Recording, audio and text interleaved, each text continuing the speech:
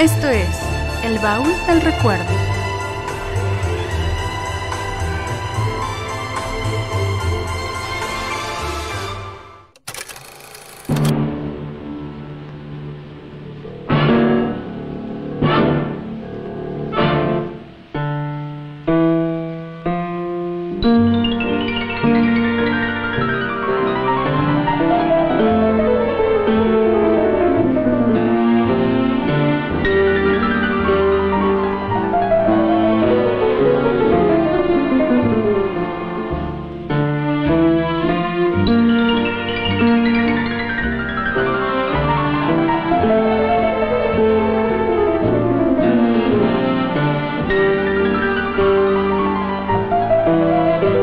Thank you.